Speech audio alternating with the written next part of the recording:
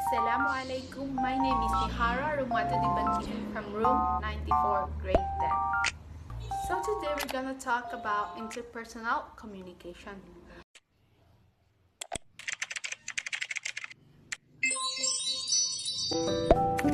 What is interpersonal communication? Interpersonal communication is a communication between people. It can involve two people or whole group what is essential is that there are several people involved.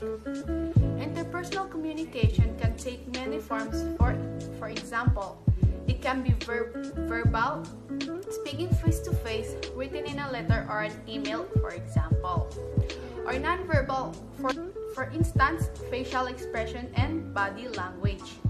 Interpersonal communication is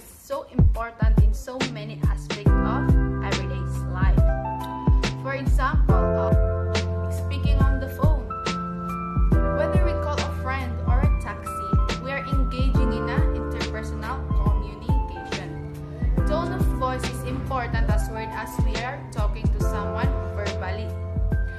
Another example, giving a presentation at work. This sharing of information in an formal setting is another form of interpersonal communication.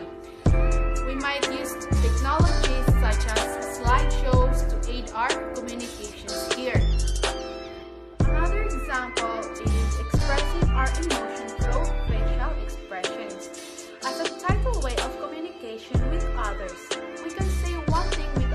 words but express something different through our facial expression.